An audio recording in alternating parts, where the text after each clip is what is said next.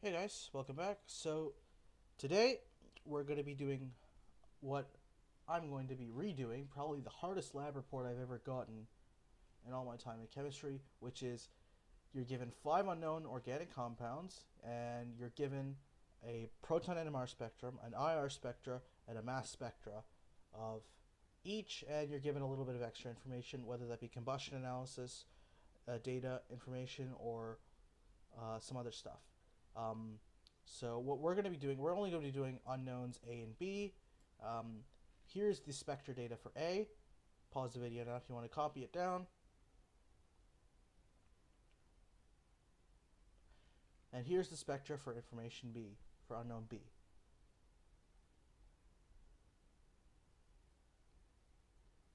Alright, now that you should have those, pause the video now if you want to try um, for both of them and come back when you have the um, answers. Alright, so presuming you're back, so the first thing I want to do is break down the mass spectrum. So right away we are told that the empirical formula is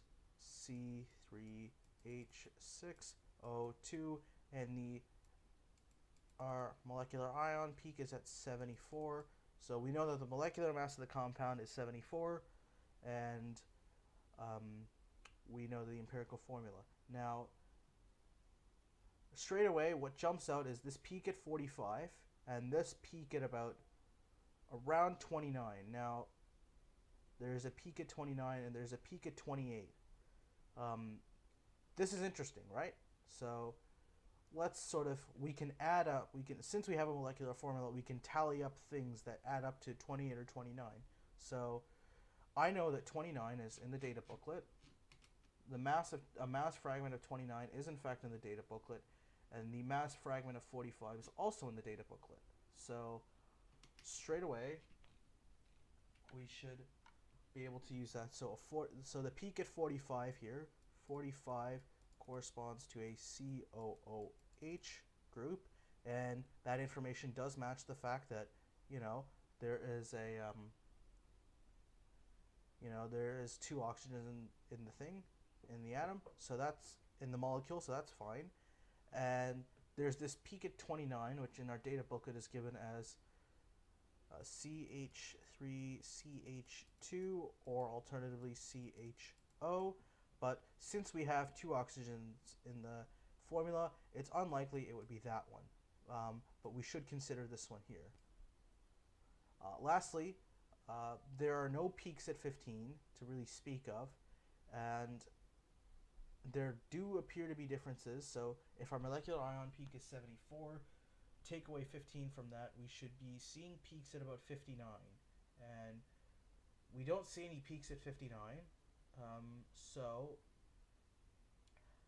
um, there are no methyl groups that, well, I guess here that counts as a methyl group, but there are no methyl fragments to really look at. There's some other peaks here, but it was the peaks at well 45 and around here. The reason I identified this peak is because I know that's a carboxylic acid, and then here this peak is extremely high, so therefore um, there needed to be a bit of investigation. Some of these other things here, maybe hydrogen's falling off or different isotopes or whatever, but this frag, this section here cannot be ignored. Now, if we look at the um, if we look at the IR data, we notice bands at, so let's sort of, um, let's sort of pile up all our IR data here. So let's sort of pile up our mass spec data. IR data. And there's not much IR data we can really pick off here. Um, there's not really much you can pick off from IR. And then we have NMR. But what you can pick off is pretty important. So straight away, if we look here, I can identify a band, a really strong wide band um, that really has a dip at about 3000. So I'm going to note that 3000 there a really strong wide band here at about 3000 and I also note this band here at about what looks to be 1720. So the band at 1720, let's go. The band at 1720 indicates a C double O bond and this really strong wide band at about um, you know 3000 or so. Um, it really does go from about it starts off at about what that would what would that be? 2100 and it really doesn't stop till about 3600 so that is typical of you know 2500 to 30,000 is indicative of hydrogen bonding carboxylic acids and it's also indicative of hydrogen bonding in alcohols and phenols so they're both indicating OH bonds. Lastly, if we consider the proton NMR, there is a shift, so one, there is a one point, looks to be 1.1-ish, integrates to, well, we don't know what it integrates to, but well, we can identify that it's 1.1. For the higher levels, we can clearly see here that that looks to be about a uh, that looks to be about a triplet, so that integrates to 3.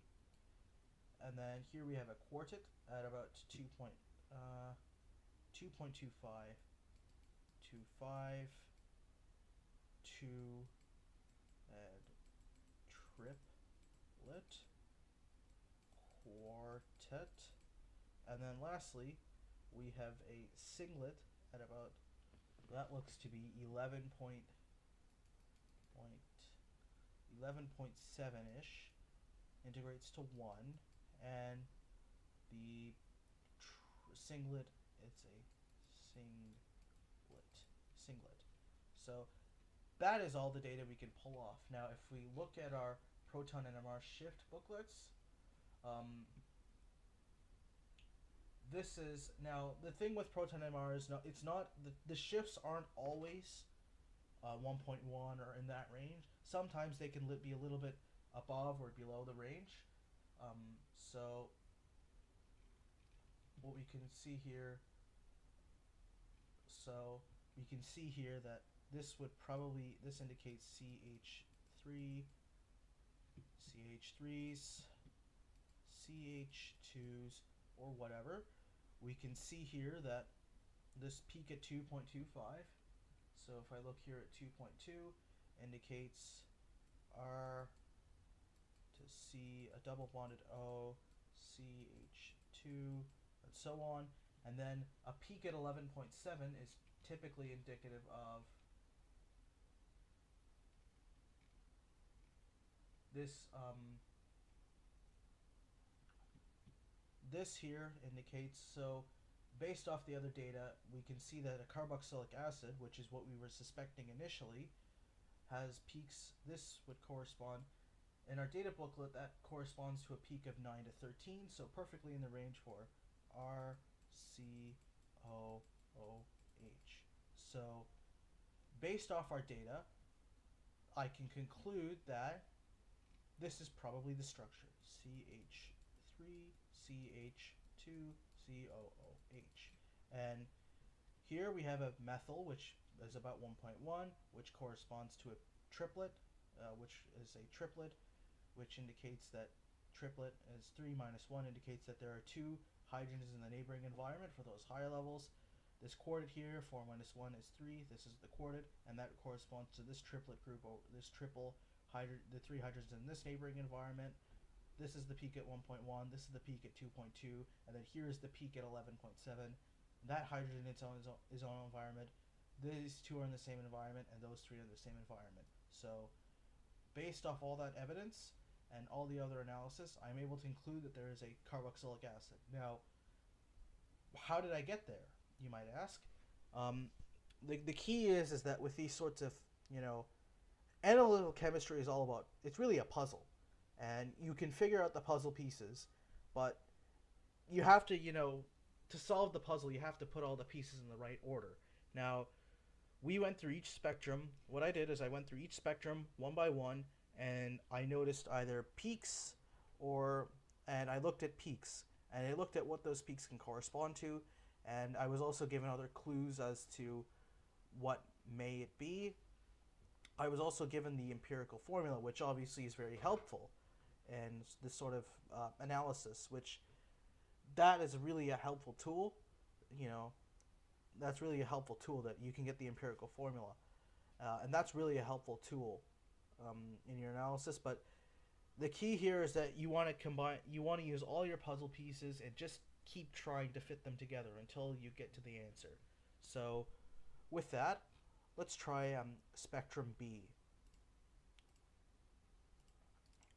which is race. So, to give myself a little bit more room here, because the last one was kind of crowded, I'm only going to have this in like a small window, right?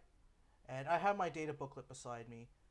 Um, actually, you know what? I'm going to move this to the other, um, the other screen, my other screen here. So let's let's get a start. Let's get started. So mass mass spectrum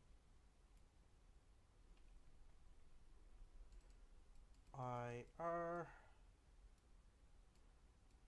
other and you can make a chart like this if you really want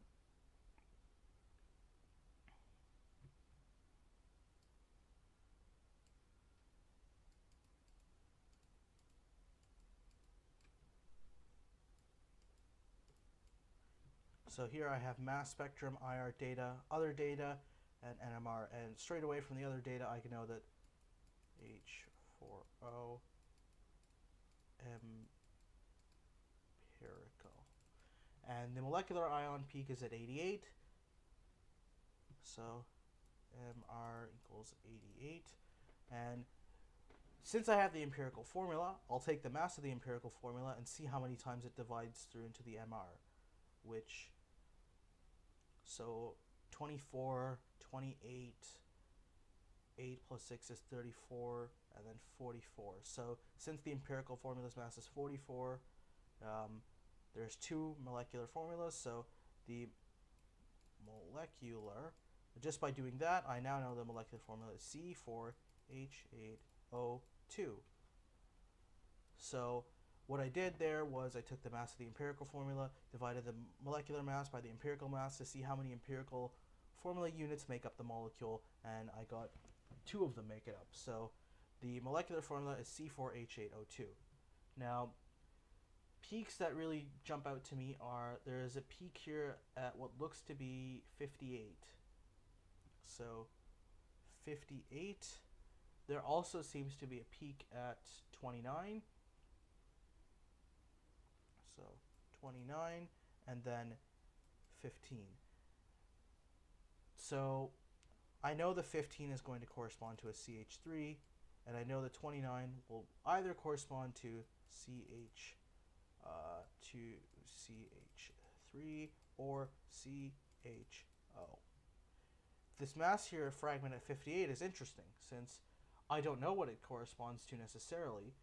Um, the difference is 30, which doesn't really ring a bell, um, but it also doesn't really, it doesn't ring a bell. So if we add some numbers up, we know that, okay, so C2H5. Let's add two oxygens. So we know that that's 29. So 29 plus 16 yields us 1545. Nope. Let's do, um, all right. Actually, we'll come back to this mass fragment at 58, but it's good to know that we have some possibilities as to what it might be. Now let's look at our IR data. So according to my IR data, I have a band at 3000. I have a band at what looks to be 1720 again. And yeah, there looks to be a band at about 1720 and that's about the only bands I can pick. And from our last one, we know that that's indicative of a C O bond, and then this peak at 3000, according to our data booklet. According to our data booklet, peaks at 3000 um, are indicative of you know, carboxylic acids, but given the last one is a carboxylic acid, I'm not too keen on that one. Um, it's also indicative of, you know, CH bonds, OH bonds, but generally the hydrox hydrogen bonding is quite broad, whereas the one that we just saw for compound B was quite slim. So that is some. Um, that's that. Now, if we go back to our mass spectrum data, okay, there must be something with a C double O bond. So that may be helpful. Um, the only other thing I can consider would be an ester. So let's let's consider that ester. Let's consider since the molecular formula is C4H8O2, let's consider um, so we know 45 44 would equal COO and adding, you know, a methyl group onto that, for instance. So 15 would yield us COOCH3, which that's possible. Um, that could that yields 59, but okay, fine. Let's so, so that yields 59, um, which is certainly a peak, but the big peak was actually at 57. So, okay, go back to the drawing board a little bit. Um, nothing yields to me at 57, so uh, it should be 57. 57. But let's put a question mark there. All right, so now let's go to the NMR data, which corresponds. We have a we have a um, what looks to be so we have a peak at 1.1 that looks to be a one two three triplet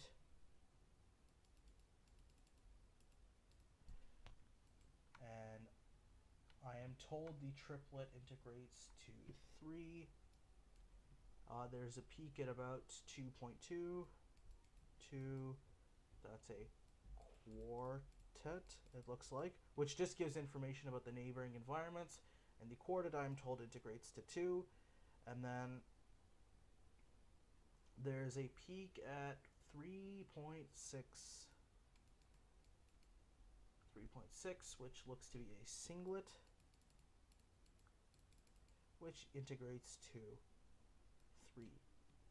Alright, this is very interesting. The peak at 1.1, if I, you know, go into my data booklet. Let's look at our data booklet here. This could be, this indicates to about CH3.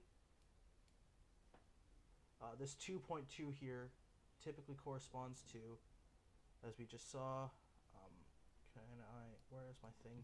Okay, there's my mouse. R C double bonded to O, CH, 2, and so on.